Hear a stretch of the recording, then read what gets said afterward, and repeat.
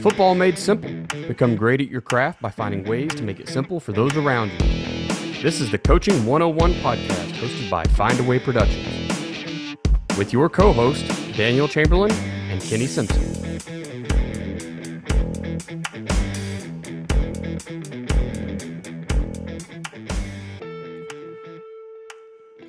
What's up, coaches? This is the Coaching 101 podcast. I'm Daniel Chamberlain here with Coach Simpson. How you doing, Coach? Oh, hot! Know, it's hot this summer. Uh, you know, you never, uh, you know, it's coming, but you don't ever really prepare for it. And we talked about this last episode. I do okay in the heat. Like I'm okay in the heat, but our kids are not so good in the heat. You know, you have those. I think like guys that are above 240 like they're a different player when the temperature is below 70 than when, it's above 90 you know it's i don't know if you you deal with that but like we got these we got a couple 300 pounders on our team that when that heat gets up whew, man it's, it's it's tough and it scares you a little bit you know especially now how acclimated or not acclimated kids are to that. Yep. And so you know we, we try to practice in the mornings this summer just to kind of get out of all the the heat uh, but it's still pretty warm.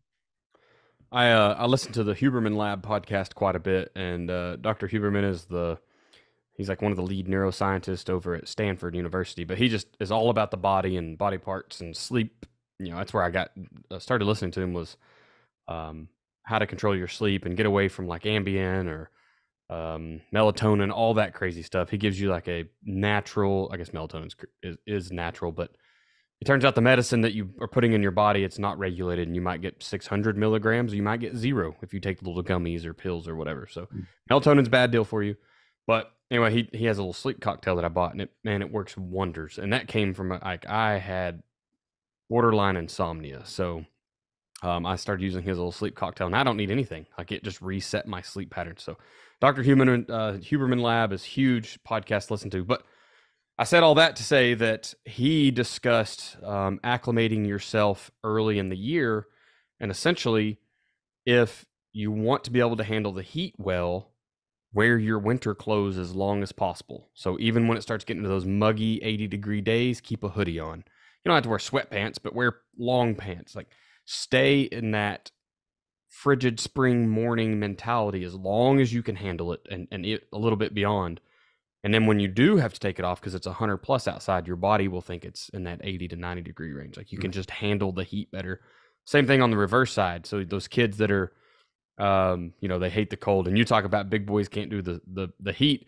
I talk about the skill kids that can't handle the cold because their hands are too cold or my toes are frozen. Um, that stuff doesn't exist in the military world, right? We just have to kind of suck it up and move on. But when it's your diva playmakers out there, you're like, all right, let's get you the little hand warmers, whatever we can do. Mm-hmm. Um, but it's kind of the same thing as, as uh, Dr. Huberman talks about. The longer you can stay in um, short sleeves and shorts after the summer has gone out of you know is phasing out and you get into that that fall and you know us down here in, in our area there's no fall it's it's 100 degrees one day and it's snowing the next we're not really sure why this happens but uh, you know it just falls off but as long as you the longer you can stay in that summer attire getting into the winter the better you'll handle that, handle that cold weather so it is there is there's science behind it. There's some studies you can read, but it is worth maybe those big boys this year, coach. You just need to keep them in winter clothes as long mm-hmm. as possible. Um, I know my brother's a pretty big boy, and he never puts on a jacket, so he just is shorts and t-shirts his whole life. Doesn't matter how cold it is. Um, anyway, just just a little side piece. Look up the Huberman Lab; it's a pretty good podcast. Uh, but yes, man, summer ball, uh, summer workouts and, and everything is upon us. Um, I hope everyone's summer programs, uh, we call it summer pride. I assume everyone pretty much does, right? Is that a something like that? Yeah. That's some kind of a universal term. We have to have summer pride. Um, I hope everyone's is going well and your boys are getting stronger. Um, or girls. We had a girl kicker this last year. It it happens. Okay, the girls play football too. Um, yeah. Uh, any anything special with with uh, the the Coach Simpson football that's going on this summer? oh yeah, no, we got back from Iowa. That was a really fun trip and enjoyed getting to be up there. Worked with two schools up there, kind of putting in the gun T. Met a lot of coaches, a lot of good kids, and had a lot of fun. Coach Gould, you know, that's kind of always a. It's always fun to travel with Bo. He he doesn't like airplanes. He, he snores like a freight train, and so anytime I get to travel with him, it's always a fun experience. We do have a really good time together. I think that's one of those deals where uh, Bo's one of those guys that I think understands you only get you know one chance at, at doing a lot of these really cool things. You need to enjoy them, and it helps me because I'm much more task oriented. Like right. do a task, get it done, and who cares about enjoyment? You know, where Bo kind of brings that element of humor and makes things really really fun. So we've had a good time doing that. Uh, now I'll be focusing on my own team, you know, selling fireworks to the fourth year, but then I'll be selling focusing on my own team. We've got hopefully big plans coming up uh, this year. Uh, excited about the group and and uh, really just ready to hit someone that's not our own guy. You know. Yeah, absolutely. Uh, you know, I, when I talk about somebody that stutters, uh, stutters, sorry, that snores a lot. Um, those are always great travel companions when you have your own motel room. Like that's fine. We do Airbnb, so I have my own room. So. There you go. Yeah, that's the way to do it, man. Like, love you doing through, through throughout the day. In the evening, you just get to go home, man. yep. Well, coach, why don't you uh, share some ways that coaches can make things simple for their staff or for their athletes? Sure. Uh, Coaching 101 podcast is sponsored by Find a Way Productions. Find a Way Productions also sponsors offensive coordinator academy.com all things offense, including the full academy, offensive line workbook, offensive coordinator workbook, quarterback workbook, and multiple materials, including an editable play call sheet. And lots of other courses are over at offensivecoordinatoracademy.com. It also sponsors defensivecoordinatoracademy.com, all things defense, including the full academy, the defensive line academy, and workbook multiple courses over there at the defense at defensivecoordinatoracademy.com. Finally, it also sponsors fbcoachsimpson.com, the original, the OG website, which houses the gun T system. Um, over nine books on the gun T, 60 plus hours if you want the full system, or you can just kind of a la carte and choose what you want. Also houses all of the workbooks, head coach workbook, offensive coordinator workbook, and so on and so forth, and 30 total books, including head coaching books, fundraising books, scheme books, and the 3 4 swarm defensive system, which is also over at fbcoachsimpson.com. If you don't want to pay for a book, we also offer a free magazine, Headsets, the digital magazine. Finally, if you'd like to get updates on when our podcast is dropping, you can, of course, subscribe or like to what you're listening to right now or go over to fbcoachsimpson.com slash podcast and we will put you on our email list, let you know when the new podcasts are coming out, other new materials. That's fbcoachsimpson.com slash podcast. Um, my old head coach, Bo Collins, just bought into your the full system. The system, and, and yeah, I know you. Yeah. yeah. I know he was he was talking back and forth with you a little bit uh, before he pulled the trigger and that thing is so well laid out. You did a very wonderful job with just breaking it down by. I, I mean, it's. I feel like the clinics, the national clinics, are it, it, feels the exact same. I feel like I'm back in that chair with a notepad and I can just run through the system. it, it is really wonderful. So uh, it's very good, very good, well put together program. Um, if you if you're looking for a football program, it's definitely one. It's uh you know, coaches got all the testimonials. People are putting up some points, so um, it's great program to buy into. Yeah, it's been fun to watch guys win state championships. I would, I think I need a ring because I get uh, we've had about twelve guys ran the gun team, won a state championship, and I'm over here struggling to win six or seven games. So appreciate the support, and apparently those guys are doing really, really well with it. It's been really cool to hear, like Bo. We it's now actually gun T is now run on six continents, all fifty states. Really, really cool to hear guys running the offense all over. It's been really, really a neat experience. And hopefully, like you mentioned, we hope to put a good product out that can help coaches. Yeah, I, I think I would be liaisoning for a or what I, I would be reaching out for a, a, ring. Like, hey, boys, I need a championship ring, and then you just start your own, put them on the wall, man. Yeah, I've got. Now, I'll say this: I do about fifteen different hoodies from guys that have sent me because they know I like gear, so they send me right. all their gear. It's all around my office. You can't see it behind me because I got the screen up here, but I've got all kinds of gear up here, and uh, I've got a couple colleges running my offense, so I've got their gear. And rock. My son rocks out all over our town, so it's been fun to kind of connect that way. There you go. Um, also, behind the podcast is Adaptable Physical Therapy. So that is my wife, Dr. Samantha Chamberlain. She's physical therapist. We have our own clinic in Grove, Oklahoma. Um, she specializes in concussions, of course, sports injuries and injury prevention. Um, if you're looking for a way to, you know, maybe it's programming your workouts throughout the summer, and you know we're all in the middle of summer now. If you want to start working on concussion prevention now, it's a real thing. It is doable. Um, those joints, of course, knees. It seems like knees are the terrors of the football world. Um, you can reach out to her and she can help you in some way of programming and, and getting your kids' knees stronger. Uh, the concussion thing, man, it, it's the, the science has gotten us out of the, the stone age of of concussions. It's no longer sit in a room and it's dark and wait a week or two. No, it's get back out, you know, as soon as possible, get some movement, push through some symptoms. Um, of course, no contact. We're still not crazy. We're not trying to get another concussion, but um, the science has definitely changed. And also um, athleticspeedmovement.com. So that is a, a, thing that I'm helping create and push out. And this is a way that you can teach your kids to be fast. Uh, and I know a lot of people say you can't coach speed, and it's just unfortunately it's just not true. At, especially at the age that we're all coaching in these junior high and, and high school levels, your kids don't they don't understand where their bodies are at anyway. Like their body awareness is is almost none. Um, but if you can teach them how their body can run fast, I, I think you can see an overall team improvement. Um, we've seen people drop, you know, six tenths off their 40 time, or you know, and the 40 is not the ultimate running score. It's not the ultimate speed test, but it is the one that unfortunately most people use.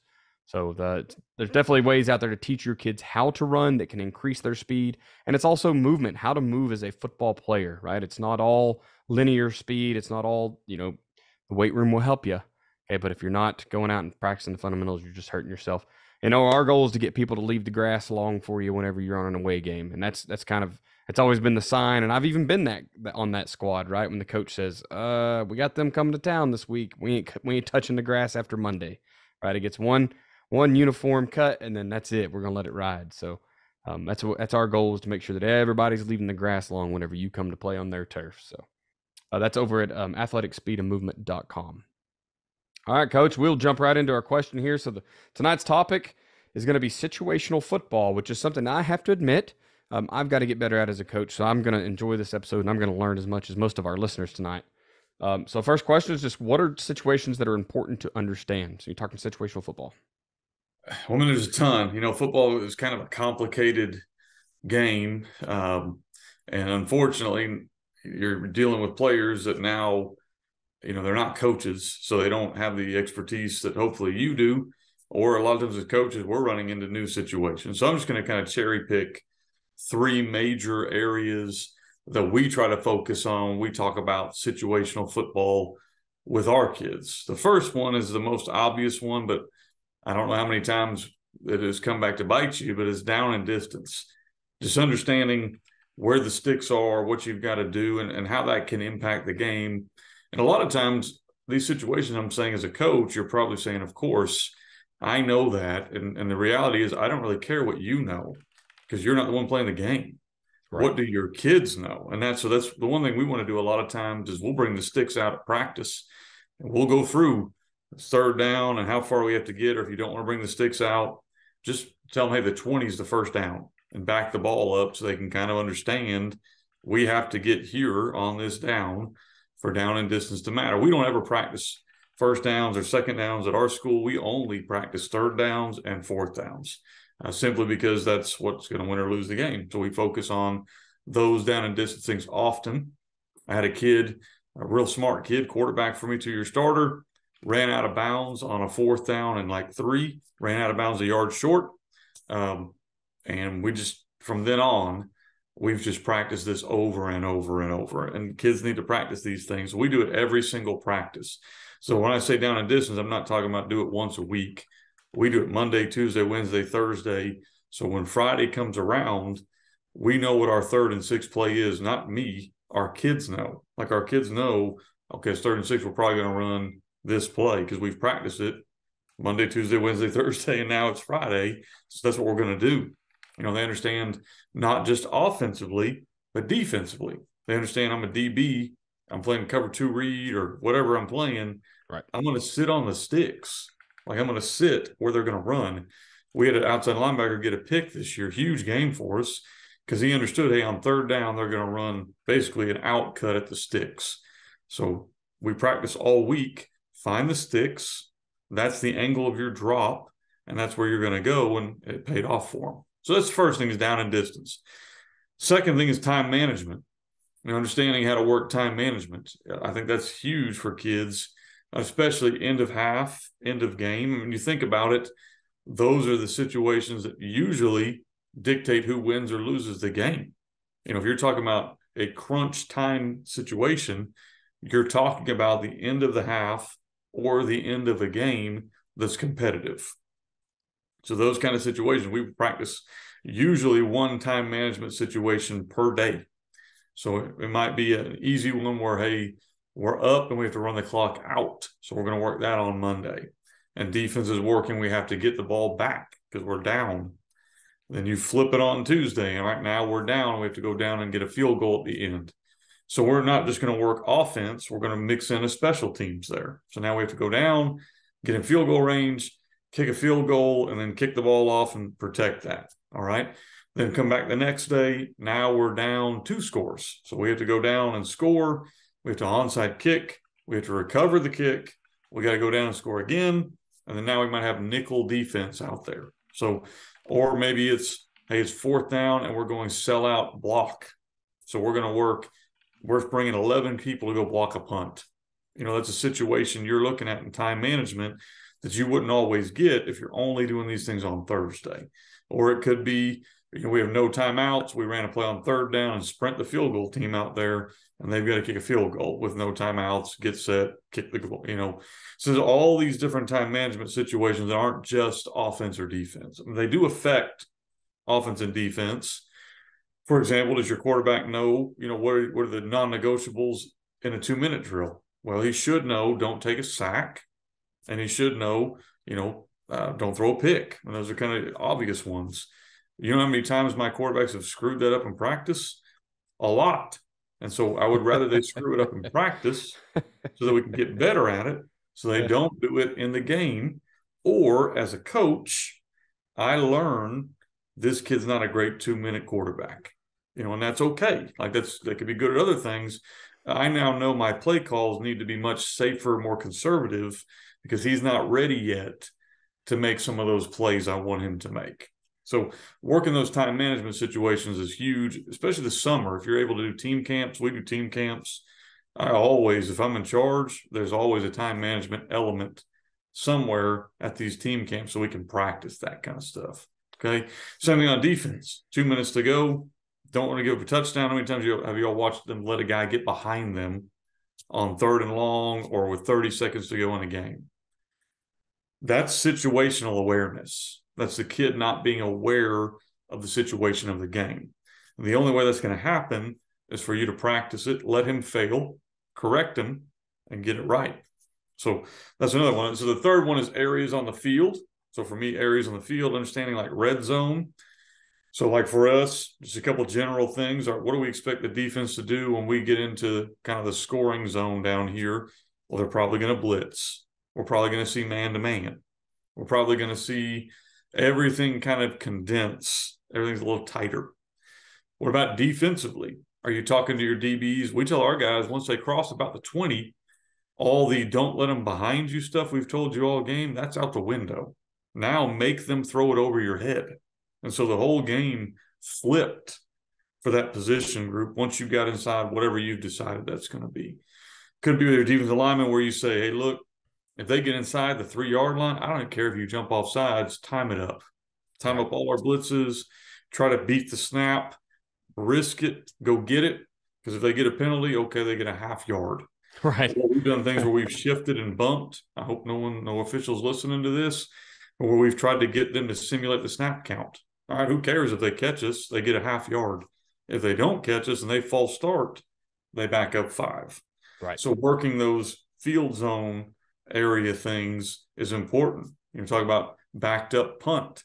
Have you practiced punting when you're your own two yard line? Or is the first time you're going to do that, like the Miami Dolphins, and you're going to punt it off the rear end of the up man because you didn't practice it enough, obviously. So those are things you got to work on when you're talking about situational football. So you know, it's funny you mentioned all these these situations, and a lot of them I have seen my teams fail at over the years, over the last few years. Um, a lot of times they're special teams, and it just goes to show we don't spend enough time on special teams, right? And it's that's unfortunate. I had and when you're working with just the players you got, sometimes you know you don't you're not fielding 45, 50 kids. You do have to work those offense and defense so much because it, it is primary parts of the game. Um, but you got to take time out, and it, you know I've seen a couple examples this year. You know we we tried to go out and uh, we we had two different punts. We have a quarterback punt, so he can fake it we can run a four. You know, in one game he kept us in the game with two 75 yard bombs on fake punts on fourth down forever. Right? They, they the team just refused to cover our trip side. We uh, we would motion a guy across. They wouldn't cover him. We throw the bomb on him, and, and we went down and scored. Um, really kept us in the game. Um. Anyway, we ran him out in one game, and it should have been our actual punter. We needed the long bomb leg. We didn't need the quarterback who just kind of hopes one will hit the ground and roll. Well, that was wrong. And then later on that game, we were down in the red zone and we really needed to fake it. The game was kind of on the line. And for whatever reason, our actual punter runs out and we're and then it kicks out of the back of the end zone and we net like three yards because it, it didn't matter, right? But he wasn't he didn't have the coffin corner punt thing going for him. He just had a, a booming leg. And uh and and the quarterback, of course, you know that's where we needed him to either fake it or just kind of give us a little pooch kick. So yeah, just knowing which punter is supposed to be in the game. That's something we could have taught our kids better. Uh, that same punter that was the booming punter, you know, he was our field goal kicker. He just had a the dude had a leg. Uh, it, it, wasn't always super accurate, but he could put you know 50 yards on it. And so um, multiple times in the same game, unfortunately, and then once again later in the season, we couldn't find our little kicking block right. And you know, and it cost us points. It cost us games because we're desperately searching for this little block to put on the ground to kick a field goal uh, all over the place. We can't find them. And so that came back to us, right? Coaches, where's our equipment at? Have we practiced it? Where does it go every single time? Why is the kicker not keeping up with it? Well, he's also because mm-hmm. he's a defensive end and sometimes plays tight end. So that's why he's not holding on to it. But, you know, those little situations we needed to practice better. And then I saw at uh, TCU this year, you know, they won a game you know, by running out a field goal kicker with like six seconds on the clock or something, and they booted one for, you know, 35, 45 yards, whatever it was. They had no time. I mean, should not have been able to go out and kick that field goal, but they'd practiced it so much that it didn't bother them. They just go out, line it up, kick the thing, and the game, you know, whistle blows while it's in the air, and and who cares? They win the game. So, mm-hmm. um, it was kind of a success story that wasn't our team, and a and a lack of success story that was our team, unfortunately. But those things are very, very valuable. Those situations, uh, and that's just special teams and, and offense and defense. That's where my coaching education has to get better because there's still ones that I probably would screw them up, right? I mean, we'll watch NFL head coaches screw up time management. We watch Tom Brady, you know, throw away a pass on fourth down and, and throw up, you know, his four fingers like it's fourth down. Yeah, it, it was Tom, right? He's the greatest right. to ever do it. So kids are going to mess up, coaches are going to mess up, but man, you sure can practice them and, and lower that margin of error. Mm-hmm. All right. So, second question here um, Why should we practice situational football throughout the week? Uh, well, first of all, um, you know when they when they when you watch games, so I know a lot of guys that are listening to podcasts probably are avid football fans. I'd imagine. What do they always show at the end of the game, which usually lets you know who won or lost? They always show a certain amount of stats.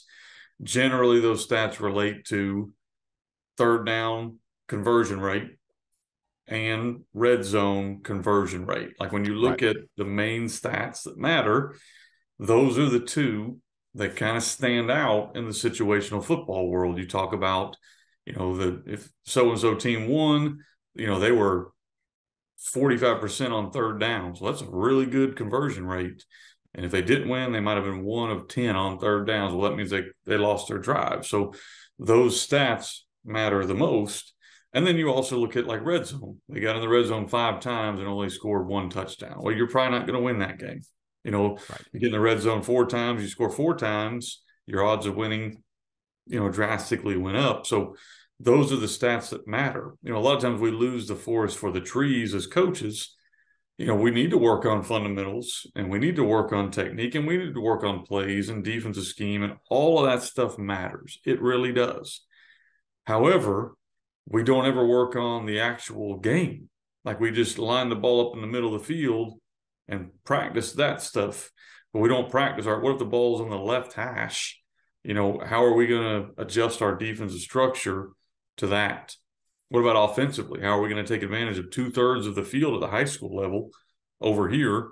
Are we going to, you know, what are we going to do with that? What about third and five? What are we going to do on those plays? So those are the things that you have to kind of look at during team. So when you're practicing those things, I know that's going to be your next question coming up, Daniel, but you got to practice that inside of your team period every single day. Okay. And then the second thing on this one, you know, why do we need to practice? Well, kids don't watch football. You know, I'm, I'm talking about guys that are listening to this podcast, probably coaches, not just coaches, but hardcore football fans, probably. We watch football. So we have seen all of these situations play out at one time or another. Know, I'm the one yelling at the TV on Sunday about time management because I've watched enough games to kind of be aware of that. Your kids don't. They don't watch the NFL rarely. They rarely watch college football. If they do, it's usually like my son does, where he just watches all the highlights. So he don't really watch a full game and understand kind of how all of this lays out. Like, how much time can we kill here? How much time do I need to let the clock run down to one before I snap it at quarterback? So there's so many little situations that your kids really don't get unless you practice them with them doing it. And so they you're going to have to work at all that stuff. The third one is this, and this one sounds a little bit tougher, but coaches need this stuff too. Like you need to go through this. I need to go through this, not just for myself. That is a big part of it. Like I need to work on calling a two minute offense and practicing that because believe it or not, sometimes the pressure gets to coaches too. You know, I watched the Miami Dolphins lose a playoff game because they couldn't get a play in on fourth and one. That was a young coach who's going to get better and better. And I'm a huge fan of him, huge, yep. huge fan of him. But I, if you ask him to be honest, he would say that that falls on him. You know, get the freaking play in. It's not that hard. We say that, but being in that situation is tough. And so you need to practice that stuff as a coach. We put our headsets on on Tuesdays and Wednesdays and practice how that's going to look in a game because we need to work through that kind of stuff not just for us. So that part's the first part but we also need to learn what our kids can do. Like i mentioned it a little bit earlier in the first section what can your quarterback actually do? Well this is your chance to see in a low pressure situation what can he do? Has he learned how to handle a two minute drive or is he not ready for that yet? You know what can our defense do? Can we get in multiple calls to our defensive players in these critical situations where we can roll down and sit on the sticks and rob their best player? All that stuff looks great when you draw it up. Can we do that stuff on high intensity situations when I'm not on the field? And so that's why you work all this stuff. And, and again, Daniel, you mentioned it. That doesn't even touch special teams. That didn't even touch special teams. If you onside kick, probably your season is on the line. So understand, like, it's not a Thursday we work onside kicks and just have a kind of a screw around session. If you're doing that in a game or a sellout block, probably the game and maybe your season is on the line in that moment. Have you dedicated the right amount of time to be prepared for that? Have you talked to your punt returner to not catch a ball kicked over his head inside the 10? Have you had that conversation with him? Have you practiced it? Have you talked about, okay, we don't, we want to return this for a touchdown, you know, so we're going to do a sellout return? Or what about they kick off to you with five seconds left? Have you worked through that play? What's that look like? Are you going to pitch it around? You know, what are you going to do in those situations? Well, you got to practice all that stuff because if you don't, and the first time you're exposed to it is on Friday, it's probably not going to go very, very well for you. Yep. Um, I'm I'm a little bit different on two point conversions. I mean, I'm I'm sorry on onside kicks and two point conversions, and I'm gonna do it every time, guy. So yeah. onside every time, man. Let's go. And and in that becomes a refinement of the process and getting better at it. You also make yourself more aware that it could happen to you and how to stop it because now you're seeing it every day in practice. Um, so hopefully our season's not online, but I guess it is in every play for for the teams that I've been with, unfortunately. Um, we, I mean, we lost a game last year because our punter tried to run up on one from like the 10 to the 12 or something and, and catch a ball and it bounced off his chest and then they broke his ankle at the same time. Like the guy hit him still, he still took a shot and it broke his ankle and he was our starting free safety. So that ended up costing us that game right then. And then it cost us the rest of the season because now we're out our, our top tackler. So, um, I think coaches absolutely need it. And we, it's one of those things. It's like we we believe we just think it's going to be easier than what it is. Um, I I'm a comedy fan, and I was listening to uh, the Kill Tony podcast this week, and I don't know if you've ever heard Kill Tony, but essentially the guy just come lets a whole bunch of new comics that have not, or maybe they've done it some, but they come on and they get 60 seconds to do a, a thing, and then they critique them. And this guy comes on with no plan whatsoever. He doesn't even have a single joke written. He just thinks he's going to roast the host and he does terribly, and it's because he never practiced. And Roseanne Barr was on there, and she was like, "You thought it was going to be easy, didn't you?" And I was like, "Man, if that doesn't explain everything we we do in life, especially in coaches, right? You just sometimes you just think it's going to be easy. I just I'm going to call Buck. I'm going to call Power. I know what I'm going to do. Are you? Have it has it been getting shut down all night long? And like it's third and five." And they've stopped Buck all night, and, and that your one RPO, right? Your little peak or whatever you want to call it, and you're they've got them both locked down. What are you going to do? What's next? Like we we call it a pace plan in, in the military, uh, primary, alternate, contingency, and emergency, right? So what's your what's your third and fourth play? What's your contingency plan? What's your emergency plan? When I got that third and five, um, it ain't always going to be easy. Matter of fact, I would almost say it's never going to be easy. if if it is easy, uh, you probably just have more studs than the other guy. I say plan for the worst and hope for the best. That's kind of how I work situational football. Yeah. Absolutely. Um, all right. So, how can we incorporate situational football into our practice plan?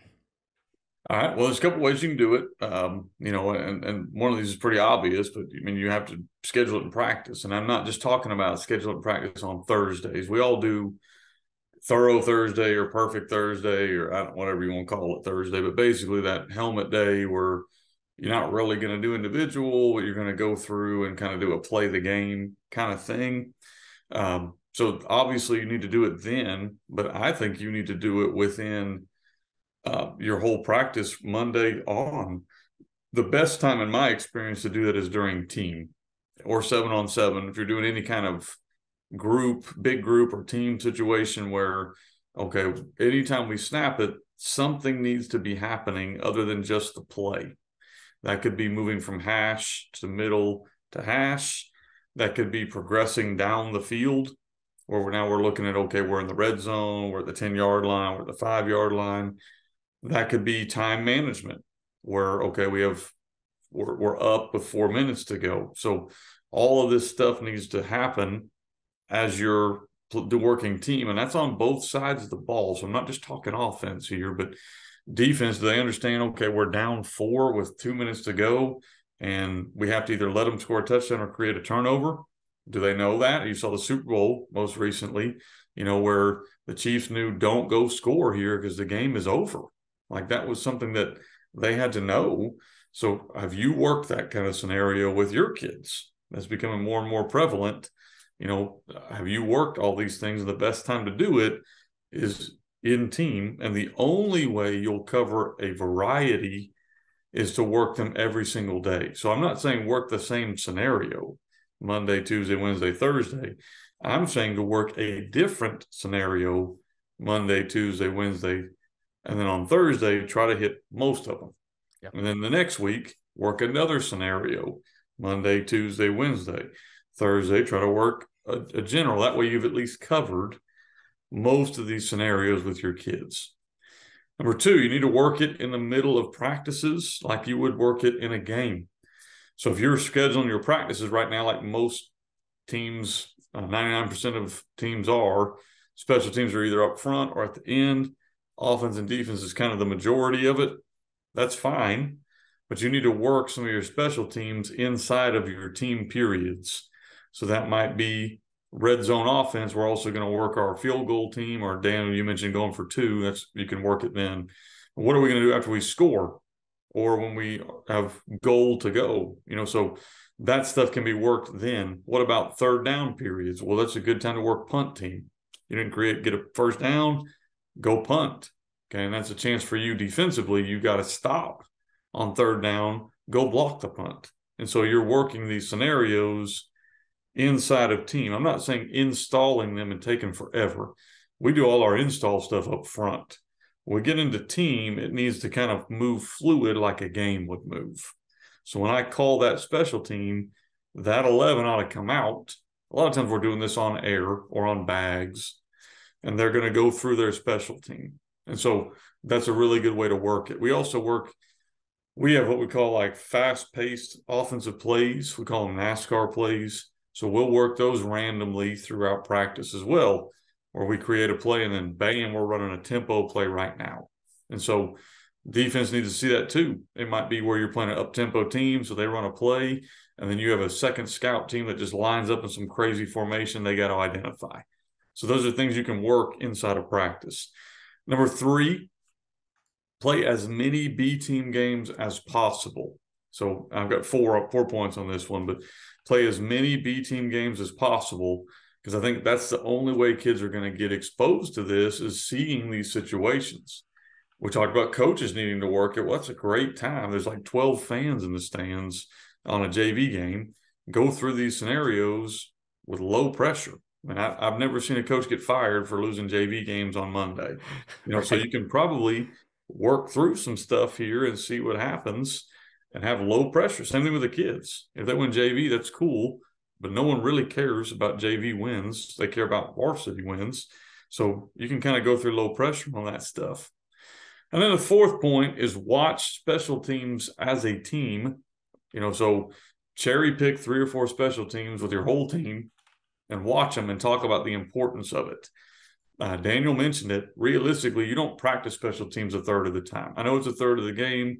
According to some people, no, it's not really because you run 90 plays of offense and 90 plays of defense and like 30 plays of special teams. That's not a third if you're really a math guy. However, there needs to be enough emphasis on the situations in special teams that your guys are aware. Like, what do we do when we block a punt?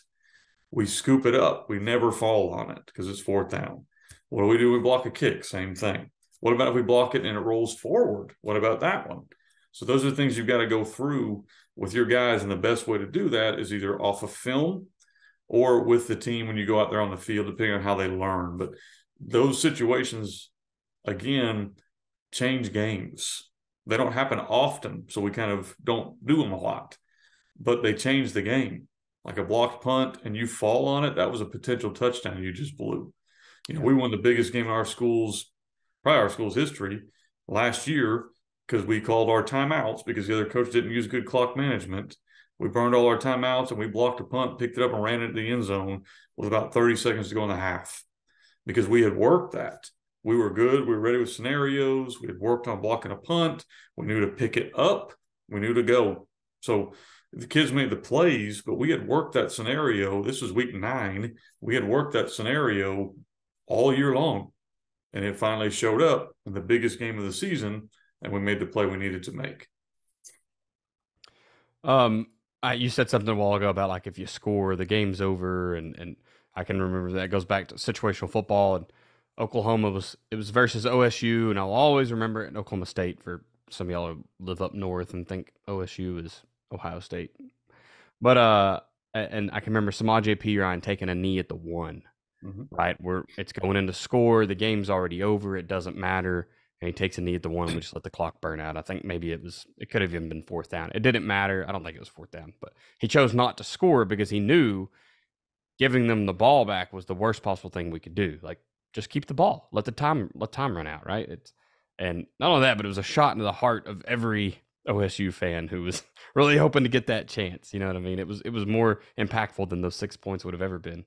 Um, but there's all kind of situations like that.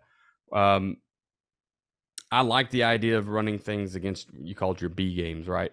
And, and practicing those situations because you're right. It, it, the wins and losses almost don't matter. I mean, for the kids that you care and you want success because it will kind of you want you want kids thinking they, it builds confidence. I know junior high kids that right. have gotten to high school and like we've never beat that team. Like we can't possibly beat them this year. It's a whole different game, man. Now you're in varsity ball, but working those situations is pretty awesome. All right, man. Well, we're going to jump into everybody's favorite part of the podcast, and that's the what not to do as a coach here. Um, today's lesson, Coach, you want to give us a, a feel of what we're going to talk about today? Yeah, today's lesson and what not to do as a coach is do not assume. I think that's one of the biggest downfalls of most coaches is that just because you know does not mean your assistant coaches know and it definitely does not mean your 15, 16, 17 year old players know. They most certainly probably do not know unless you have told them.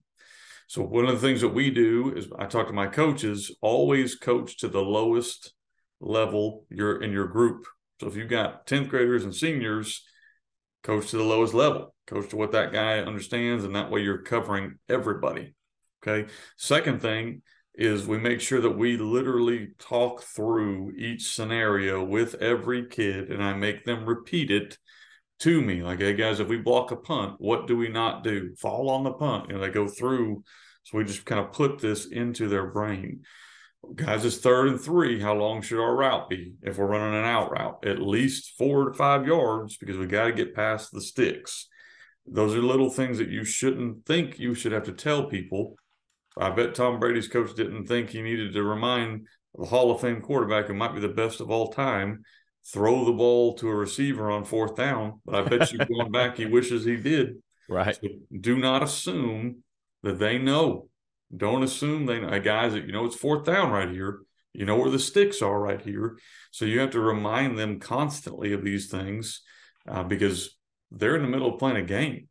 They're 15, 16, 17, 18 year old kids, or if you're working with the staff, this could be a, a young coordinator. Hey, you realize we talked about blitzing on third down. Here comes third down. Like over communicate. Yeah. Do not assume people know the situation that's showing up. Awesome, man. Um, I feel like, unfortunately, in, in, the coaching world, we assume a lot of things about a lot of parts of the game. We always think our kids have been taught that. We always think our coaches have been taught that. You know, it doesn't matter what that is. Um, you know, it's we talk about day one, page one type stuff at Tulsa. Just talk about the field dimensions, talk about where the hashes are and why. Um, you know, I mean, kids don't know sometimes. It's just like you said, they don't grow up watching football, no. and that that hurts different. I mean, not only situationally, they don't know. Oh yeah, we've got three timeouts and a half. Use them before the half is up, or they just go to waste. But they may not know many many things. Right? It's just the simplest of things they can just have never been taught. So they know to line up and hit the guy in front of them and maybe hit him harder than he hits us so that it doesn't hurt us as bad. All right, man. So we're going to get into um, our next ranking tonight. So um, we're going to do the, the podcast ranking tonight is going to be on our top 10 quarterbacks of all time. And this one's hard for me because I am 35 years old and I like today's kids did not watch a lot of NFL football growing up because we just my family wasn't about sports. So um, I my top ten list is gonna be different than yours, and it's because it's a little bit of recency bias. I've also put a little section in there for like guys who are now quarterbacks that are probably going to be on this list at some point. But uh, Kenny, if you want to, go ahead and tell us your top ten list of quarterbacks of all time. Sure. Uh, I'll let you talk about your on the way guys who I think just put a pin in that is yet to be seen on those guys. We'll see. But I'm gonna do my my guys that almost made the list or, or guys that I'm that I think were great quarterbacks but weren't quite there. So you have, in my opinion, Johnny Unitas. If you're looking at like the OG of quarterbacks, I think this guy was a guy, and Fran Tarkenton. Those are two kind of older quarterbacks that played back in the day uh, that I think you could have made a case for being on the top 10, just probably were born in the wrong decade, you know, to be able to do what quarterbacks do now. It's so different. Uh, also, I included Kurt Warner. I think that had he been in the NFL longer, he's in the top 10. So if you're just looking at pure talent, I think he belongs there. I just didn't quite have the body of work for me to put up there.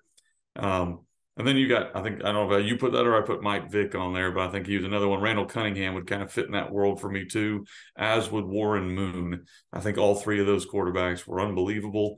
Uh, just unfortunately didn't quite last quite long enough in their in their career. Warren Moon, of course, had to go a whole different route to get there. So those are guys who barely missed the list. I don't think I have any. You know, I've got one current quarterback on my list. Uh, I think that the game is awesome right now. There are some great young quarterbacks, but they got a lot to prove. uh, before they get up here. I might have two up here. Yep. So I'm going to start with bottom number 10. Uh, Pittsburgh Steeler guys are going to love this because I put Terry Bradshaw up here. And the man won four Super Bowls. Uh, you have to give him some credit. I know it was steel curtain. I know he had weapons around him. He won four Super Bowls, and you got to give him some credit for that. So Terry Bradshaw was up there, number 10 for me. Uh, number nine, uh, and it hurts me to say this, and I'm looking forward to watching him play against the Dolphins. Uh, but Aaron Rodgers, I think you have to look at his career that he has had. Unbelievable career, in my opinion. I know he's got to put a couple more Super Bowls on there to really climb up the list a little more. So what he does with the Jets would be interesting to see. Um, I think he's, I think he's probably on the downhill slope right now, but I think he had a great career. Uh, number eight, another one who had to kind of wait his time, Steve Young. And Steve Young had to sit there behind Joe Montana, so he doesn't get the credit he really probably deserves for what he did in his limited time to shine. Different kind of quarterback, lefty, could run, a lot of fun to watch. So Steve Young was my number eight. Number seven for me is Drew Brees. Uh, that might just be me being a fanboy with him. I know he had some great stats, had some great wins. Unfortunately, did not have a great defense to help him a lot of the time. So I've got Drew Brees up there, number seven. Number six, number six for me is a current quarterback. I think he's the highest ranking current quarterback I've got, Patrick Mahomes, and I think he's going to continue to climb. So he's at six right now. Of course, win a couple more Super Bowls, and, and then he'll work his way up that list, I'm sure. I think we're witnessing greatness when you watch him play. Unbelievable. Big fan of him. Uh, number five is Brett Favre. I think Brett Favre kind of broke the mold of how quarterbacks played uh, just kind of a gunslinger. Um, personally, not my favorite guy to watch because I think he was a little wild for me, but I think you have to give him a lot of credit for what he did. Kind of put Green Bay back on the map. I had a great career for them. Number four is my boy Dan Marino, probably the best pure passer on the whole list. If you just talked about a guy who was born with a right arm to throw it, it was Dan Marino. Unfortunately for him, Miami's defense was terrible and our running game was horrible his whole career. So a ton of good stats. Rewrote the entire record book before we decided to play touch football, and it wasn't really real anymore. So I give him kind of extra stat, extra points for throwing it when they were able to hit him. Okay. Uh, number three, Peyton Manning. I think Peyton Manning speaks for himself. Probably my wife's favorite. Uh, dude is hilarious, great quarterback, has a couple of Super Bowls, so I ranked him a little bit ahead of Marino. Number two for me, uh, Joe Montana, you look at kind of the golden boy of quarterbacks, four Super Bowls, threw the ball really well. I know he had weapons around him, uh, but you got to put him up near the top. And then number one for me was Tom Brady. I think you have to kind of look at his body of work and his career. Won a Super Bowl at, at two different places. Uh, clearly was the reason for the New England Patriots' dominance for such a long time. And I'm a big Bill Belichick fan. I know we'll do coaches down the road, but I think Tom Brady gets equal credit, if not more credit, than Belichick should for what New England did over the last 20 some odd years. So that's my top 10 quarterbacks. Daniel, I'm, I'm, checking out your list right here as I'm looking at it. It looks not bad. You got yeah, so, I think you're more hopeful if you're on the ways. So. Yeah, so I'm going to cover so the the guys that I left off. So I added Mike Vick to the list, and I think that uh, the problem with greatest quarterbacks of all time is it's what were they asked to do, right? Because Michael Vick did not play quarterback the same as as John Elway. He didn't play quarterback the same as Dan Marino. It's just the position, you know, when you're talking about the best running backs of all time, those guys, it's yards, touchdowns, Super Bowls, yards per play, etc. With quarterbacks, you look at Mike Vick and it's like you can't make win loss stat a quarterback stat, in my opinion, because I know we do, but I don't really think you should. There's, you know, 21 other guys playing football at the same time as him, and he gets the loss. It, sometimes it doesn't make sense. But, um, so their stats can just be all over the place. And Mike Vick did things, and you talked about, um, Brett Favre breaking that mold, and I think Mike Vick just took it even further. And now we're seeing that more people want to get back to that, and then we're also looking for the true passer. Um, you know, you got Kyler Murray's, those guys that are doing the same thing these days. Uh, we'll see. We'll see what the, the position holds in the next 10 years. But the more we get to touch football, the more those guys are, you know, going to prosper because I can run around real fast right until the end, and you better not hit me harder. It's a flag, or I might throw it over your head. We'll see. But so um, I made a small list on the side here, and it's just on the way. And these are guys that I think are amazing quarterbacks.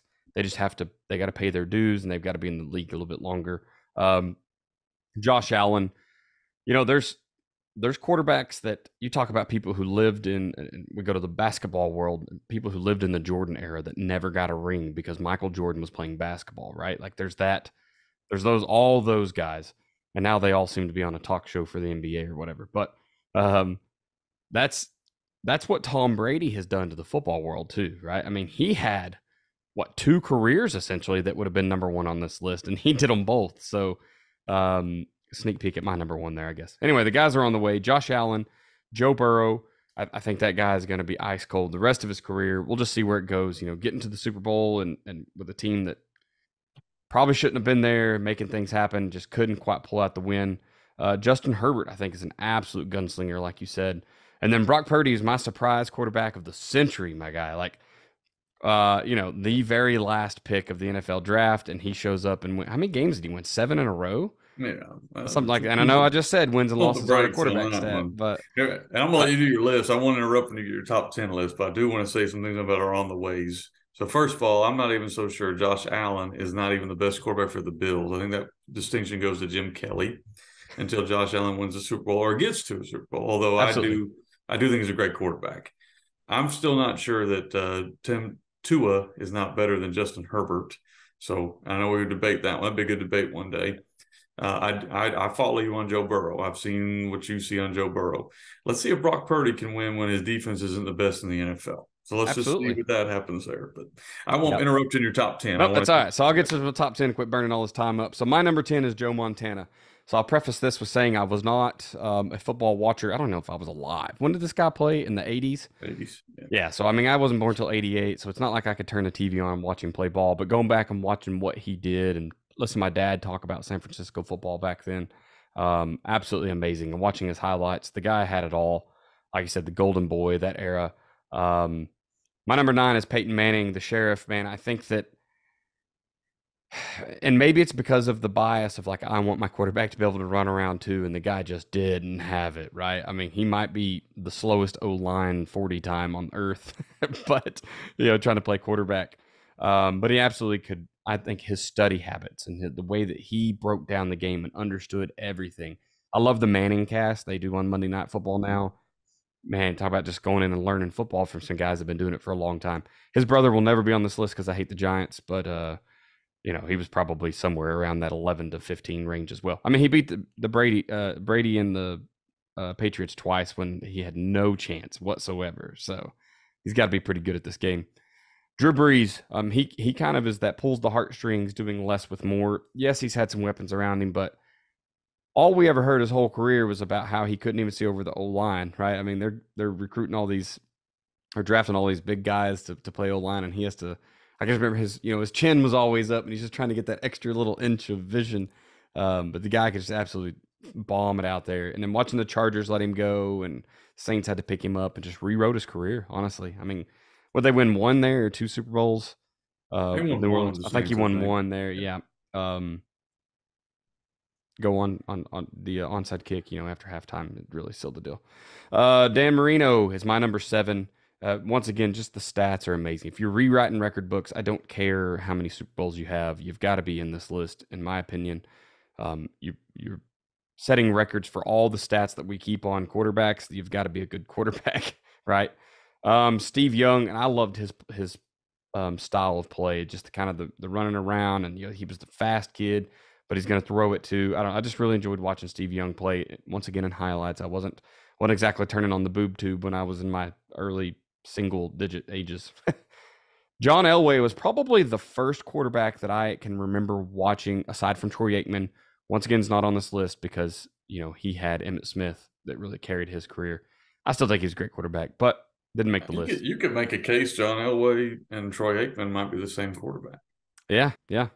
Could be. Um, I just like hearing the stories about John Elway and how, you know, he just kind of gutted it out with some where I think Troy got to lean on other people, I think John Elway had to do it himself. And always hearing about his rocket passes. You know, he's throwing so fast, he's breaking dudes' fingers, and mm-hmm. just absolutely, you know. And so I just love the stories behind him, and that moves him up my list. I guess I don't. Maybe it's my fan favorite list, better than uh, Brett Favre.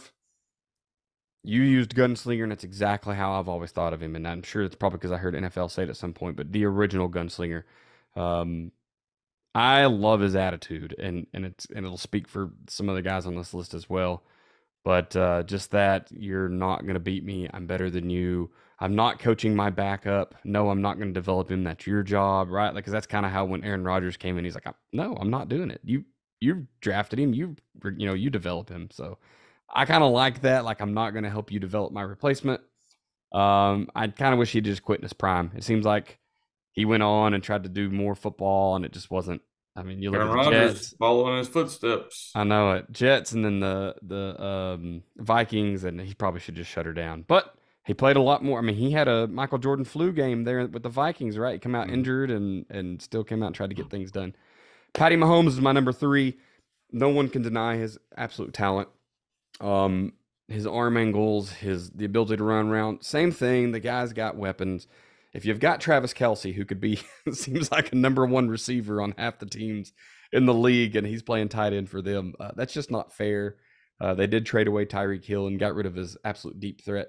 So we'll see, man. I I, I think I, am not so sure the next two Super Bowls aren't you know just aren't his. I heard a, a comment last year and it, it made a lot of sense. And they talked about the MVP trophy and they said they just should call it the Patrick Mahomes Trophy or award and just give it to other quarterbacks that aren't Patrick Mahomes because he should win it every year. And he probably honestly should, but my number two is Aaron Rodgers, who's actually has won it every year for you know two years in a row. Um, he he's he's one of the guys that keeps taking it away from from Mahomes, unfortunately or fortunately. Aaron Rodgers would probably be my number one on this list. I just think that he continues everywhere he goes to see success in ways that aren't always win and loss. And man, some years you just wonder what is going on up in Green Bay, and I'm I'm kind of glad he's out of there. I thought he would retire there, but I don't know. Maybe Patrick is the only quarterback in the league right now that when he walks on the field, the team is going to win the game. I mean, they have the best shot with him on the field. Um, a lot of drama the last couple years, I think, hurt his reputation with people, but man, he's just a, a, a solid quarterback, and, and his one Super Bowl may not ever be enough to put him up this high on anyone else's list, and that's okay. But I think that when he hits the field, your team has a chance to win it all. And, you know, unfortunately, it didn't happen for him some years. And then everybody's number one. And if it's not your number one, it's because you're lying to yourself because you're a hater, and that's Tom Brady. The man had two Hall of Fame careers that were separated by like a couple of years in the middle that would have been great years for some quarterbacks. So I don't know what else you could want in, in a in a player. Maybe he shouldn't have played last year, but that's the only year. I mean, if you look back, I mean, he just terrorized the league. He is the football's Michael Jordan. Um, he kept a lot of rings off of a lot of other people's fingers, and and I think we're seeing right now that maybe he made Belichick. You know, I'm I'm a fan of Belichick's too, but he's got to start over, and he doesn't have Tom Brady back there, and it's you know things haven't been that great. So we'll see. Uh, maybe he's trusting that new quarterback a little bit too much. But Tom Brady is the ultimate. He is the GOAT. He always will be. I don't know that anyone can ever do what he's done again until we're cyborgs and we have 50 year careers or something because the guy just did it all. So yeah. there you go. My very long winded top 10 and some, and some people that I think will be in this list in the next 10 years. Yeah. I would say of the young quarterbacks that are not on the list, Joe Burrow has the chance to be the next one. All right, man. Well, we've uh, we've done all the things we talked about. Situational football, the important ones to understand. Um, why we should practice those situational football uh, situations, situational football situations throughout the week, and then uh, how can we incorporate it into our practice plans. So, Coach, why don't you once again tell us the ways we can simplify football for our staff and our players? Sure. Uh, Coaching 101 podcast again is sponsored by Find Away Productions.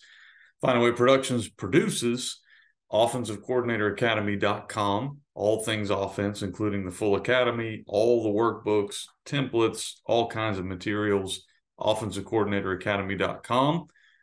defensivecoordinatoracademy.com, which includes the Defensive Coordinator Academy, also the workbook, also the Defensive Line Academy and workbook, and multiple other defensive materials, defensivecoordinatoracademy.com.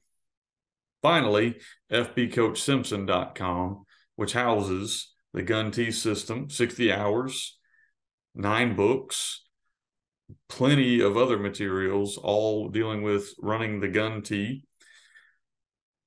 30 books total, including fundraising, how to be a coach type books, workbooks, 3 4 swarm materials, also the 3 4 swarm defensive system. Headsets, the free digital magazine is also housed at fbcoachsimpson.com. Finally, if you'd like to receive email updates on when we're dropping a new episode, what the new episode is going to be, or other materials, go to fbcoachsimpson.com slash podcast. That's fbcoachsimpson.com slash podcast to get on the email list and receive all the updates you might want. Awesome. Appreciate that. Um, also like to remind you about adaptable physical therapy. We have a brand new clinic. I say brand new. It's been open since April. Soft open in May the fourth. We did we did uh, Star Wars Day for our grand opening, so it'll always be easy to remember. Um, they're in Grove, Oklahoma. You know, you can call today. You can look us up on Twitter at AdaptablePT. Um, write us an email, adaptablept at gmail.com. My wife is the the doctor there, uh, Samantha Chamberlain. She specializes in concussion. So if you've got a, a unfortunately a player who suffered a concussion, through any way, uh, it doesn't matter. Have to be sport related, but if they have a concussion, please send them over to see her if you're in the area.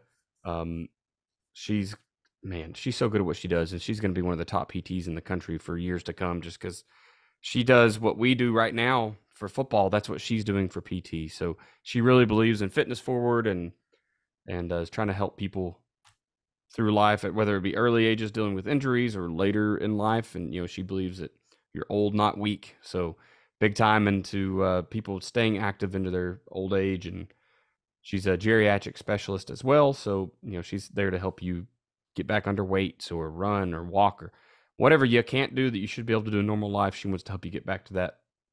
Um, also over at um, athleticspeedmovement.com you can find a new program that i'm a part of where we're helping you help your team run faster and it's you know a lot of people talk about you can't teach speed and i just think that's not true at this age, the kids that we're teaching do not know how to run. They've never been taught how to run. And um, that's what this program is for. Um, it's based off Del, the teachings of Dell Baskett. Dell's been doing it since 1979. He was the original speed trainer in the NFL. He's worked with just about every NFL team out there, many, many colleges, um, Ohio State, Texas, uh, Oregon. They go on and on and on. His list does. And like I said, he's been doing it since 79. So he's got lots of years' experience but he will help you teach your kids how to run and you will see speed increases. And our goal is for the opposing team to let their grass grow tall. So when you show up, I want to see tall grass covering your cleats, even, man. I want to be the tallest grass you've ever seen on a football field because they're afraid of your speed. So that's our goal. All right, coach, we're going to talk about social media. So where can we find you on social media? Uh, my things are all FB Coach Simpson. So FB Coach Simpson is my Twitter handle.